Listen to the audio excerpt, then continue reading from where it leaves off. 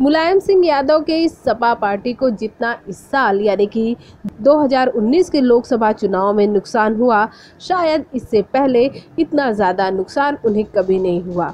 भाई, जब एक व्यक्ति के पीछे आप पूरी समाजवादी पार्टी लगा देंगे तो यही होना है। अब आप हमारा इशारा समझ चुके होंगे। जी हाँ हमारा इशारा है दिनेश लाल यादव निरहुआ की तरफ़।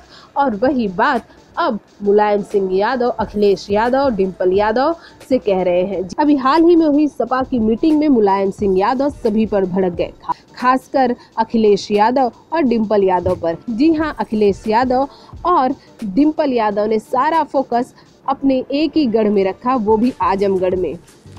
जिसकी वजह से वो पूरी तरह से पार्टी में कहाँ कहाँ चुनावी रैलियाँ करनी है किस किस क्षेत्र में चुनावी रैलियों का ज़्यादा असर होगा, इन सबको ध्यान न देते हुए सिर्फ़ आजमगढ़ में ध्यान दिया और इस वजह से सपा के हाथों इस साल 2019 में सिर्फ़ पाँच सीटें आई हैं, जिसे लेकर मुलायम सिंह यादव काफ़ी गुस्से में दिखे।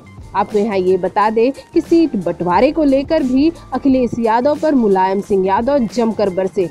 उनका ये साफ़ कहना था कि अखिलेश यादव की लापरवाही की वजह से आज सपा को ये दिन देखने पड़ रहे हैं।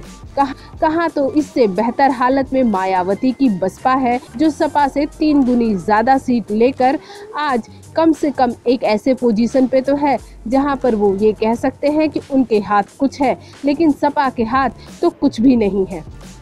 मुलायम सिंह यादव का साफ़ कहना था कि अगर सपा के अध्यक्ष अखिलेश यादव ने सारी बारीकियों को ध्यान दिया होता तो उन्हें समझ आ गया होता कि सीटों के बंटवारों से लेकर चुनावी रैलियों का क्या महत्व होता है। और इन सबको लेकर कहीं न कहीं मुलायम सिंह का गुस्सा जायज़ है। तो ऐसे अब ये देखना दिलचस्प होगा कि अखिलेश यादव की आगे की रणनीति क्या होती है। भोजपुरी जगत की हॉट और मसालेदार गॉसिप के लिए हमें सब्सक्राइब करना बिल्कुल न भूलिए।